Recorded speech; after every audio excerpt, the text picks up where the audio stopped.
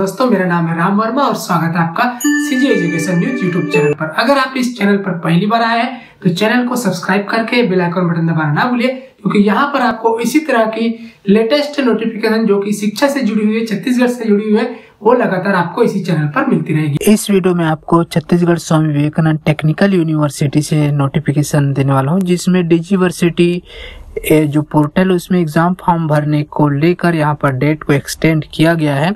तो कौन से सब्जेक्ट के लिए है? ये डिटेल में देखेंगे। तो एमबीए के फिफ्थ सेमेस्टर के लिए, जो कि पार्ट टाइम स्कीम के लिए रेगुलर और बैकलॉग दोनों के लिए है ये।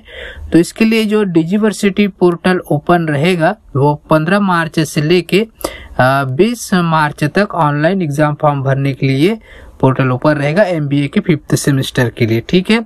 तो यहाँ पर जो है एमबीए वाले फिफ्थ सेमेस्टर के स्टूडेंट जितने भी है, वो रेगुलर बैकलॉग दोनों स्टूडेंट जो पार्ट टाइम स्कीम के तहत, अब 20 मार्च तक ये फॉर्म ऑनलाइन रूप से भर सकते हैं।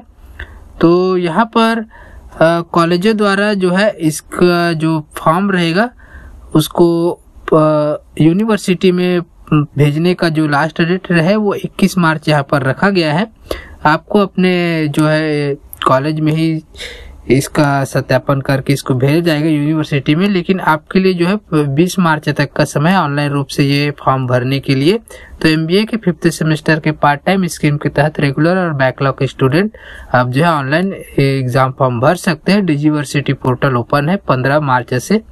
तो यही नोटिफिकेशन था छत्तीसगढ़ स्वामी विवेकानंद टेक्निकल यूनिवर्सिटी से। ये वीडियो आपको कैसा लगा? अच्छा लगा तो लाइक कीजिए, अपने सभी दोस्तों को शेयर कीजिए।